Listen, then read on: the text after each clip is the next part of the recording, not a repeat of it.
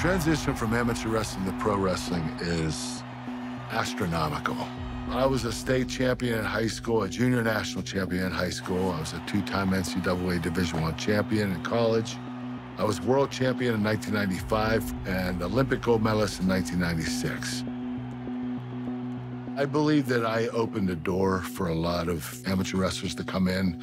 Uh, once I broke the ice, a lot of people followed. Brock Lesnar from Minnesota is your heavyweight champion in the year 2000. Brock Lesnar is known as the Beast Incarnate. He is huge and skyrocketed just as fast as Kurt Angle did upon making his transition from amateur wrestling to professional wrestling. Both had many things in common. Uh, we were both heavyweights, both won the NCAA championships. Uh, we both got into professional wrestling. So we had a lot of identical things occurring in our career.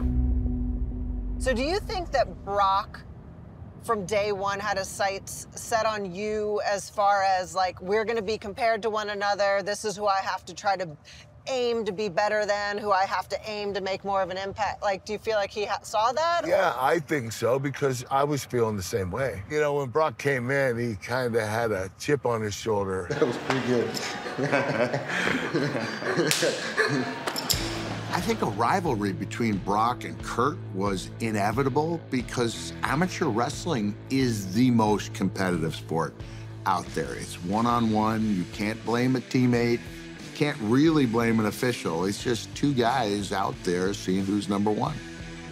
We had an incident the first time I met him. Uh, somebody came up to him and said, hey, how do you think you would do against Kurt Angle in a real match?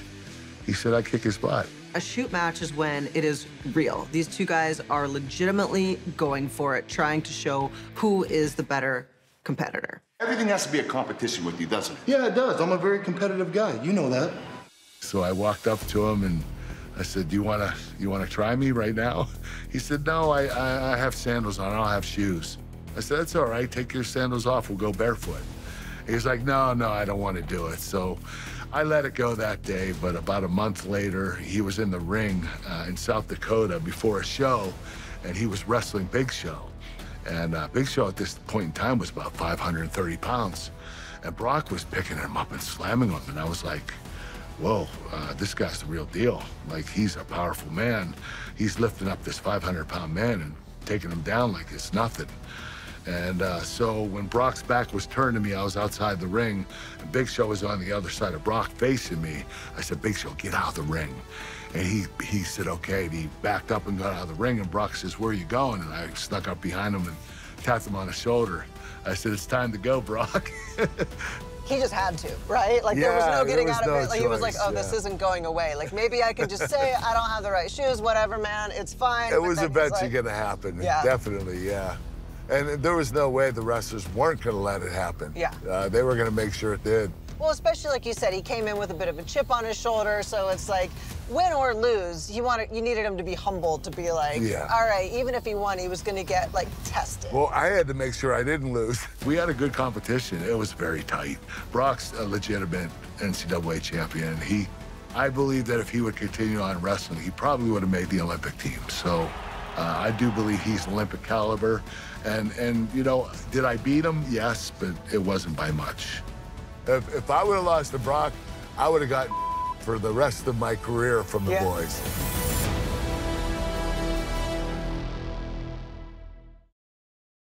The memories we made for everyone. I remember this like yesterday. How many asses I kicked with these boots. Roddy Piper's leather jacket. We need this.